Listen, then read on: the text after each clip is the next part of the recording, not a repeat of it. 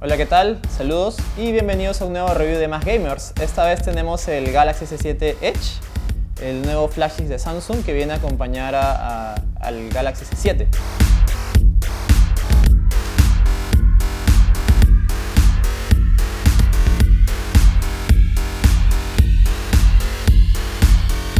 Bueno, y para empezar, lo que más resalta a la vista en realidad es el diseño. Es un diseño eh, bien curioso con los famosos bordes Edge. 5.5 pulgadas, una pantalla 2K Super AMOLED. Sin exagerar, podría ser de las mejores pantallas que hay disponible actualmente. Súper, súper saturada, súper brillante, súper, súper intensa. Como diría, una de las mejores pantallas que hay actualmente disponible en el mercado. Entrando de lleno en las especificaciones, el S7 Edge maneja el último procesador Snapdragon 820 además de 4 GB de memoria, eh, de memoria RAM, lo cual nos asegura eh, un multitarea bastante fluido, sobre todo sin eh, este famoso problema que tienen que se cierran las aplicaciones de vez en cuando. Como novedad, cuenta que vuelve con el sistema IP68 que se había dejado en el S6.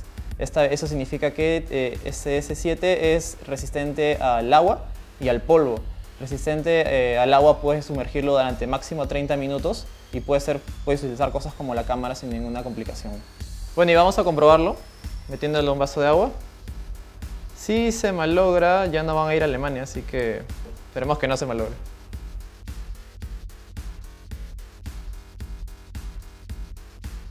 Bueno, y como era de esperar en la gama alta, eh, el S7 Edge cuenta con un sensor de huella dactilar en la parte delantera.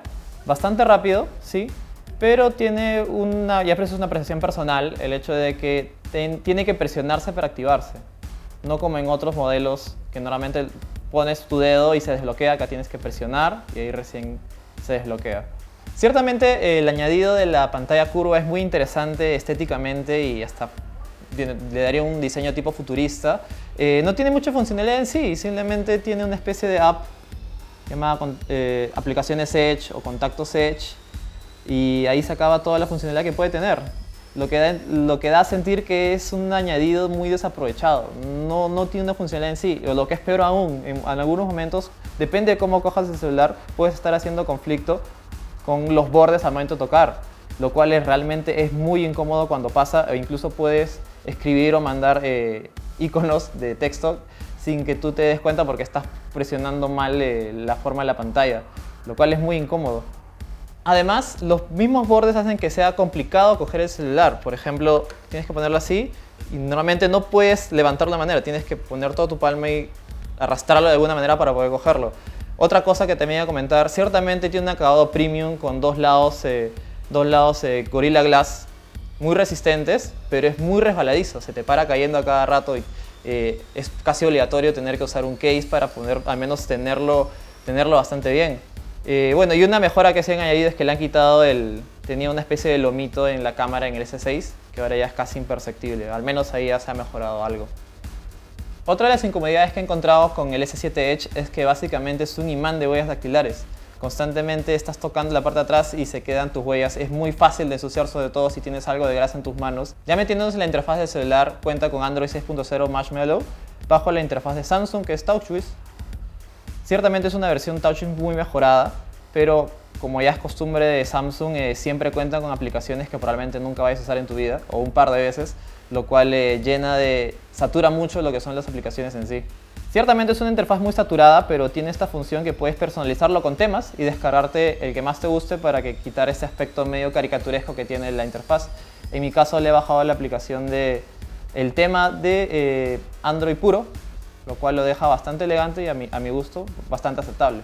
Una de las funcionalidades que más me ha gustado en este nuevo modelo es el Always On Display. Y es que básicamente cuando apagas, bueno, cuando bloqueas el celular constantemente tienes un, una información que se, que se muestra y que nunca se apaga y el consumo de batería es mínimo, es mínimo.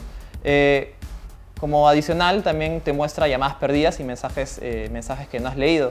Sería bueno que en una futura actualización de software eh, puedas poner más, más notificaciones de más aplicaciones y que quede algo así como el Moto X. Y para mí el punto más fuerte de este celular, por lo cual lo recomiendo totalmente, es la batería.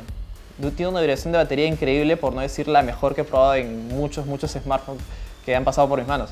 Básicamente, eh, con uso regular logras tener dos días de batería de inicio a fin y un uso fuerte logras tener día y medio.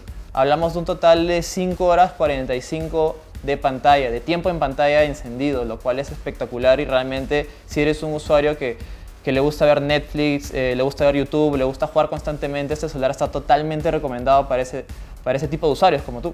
Y bueno, diría que es el celular ideal para Pokémon GO, ya que Pokémon GO usa, usa mucha batería.